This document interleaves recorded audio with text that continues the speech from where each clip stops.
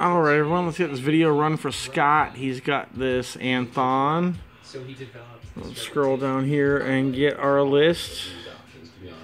It's a massive one. It's 1 through 100.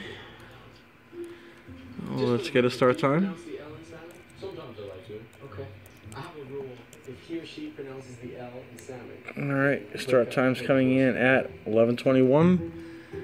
He's got 116 pages of PayPal. This tasted like it was gonna make me sick. One, This was a little bit better.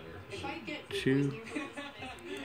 Well, not me, but you did Three. spill it. We have HR. This one tastes like my delivery that I always get, which I assume is probably Four. trash sushi all the time.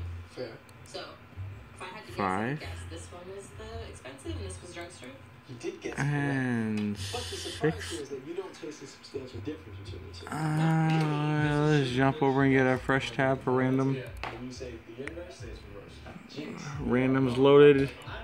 Green lock is secure. This was sugarfish. There's a refresh. 1 through 100 is already loaded. Which has some explanation. Alright. This side here is actually Congrats. 28. hated star.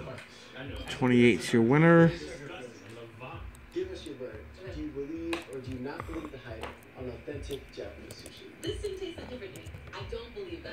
Winner is coming in at 1122. On high-end, authentic Japanese sushi. I'm a believer, beloved. But it tastes What did I say? 28? Yeah, 28. 28. Say no more. 28 is Dave Emmerich. Congratulations, Dave. As people like the real stuff over the local convenience store sushi. So the verdict on authentic Japanese sushi. Believe hype. 1122 just turned 1123. Thanks, everyone.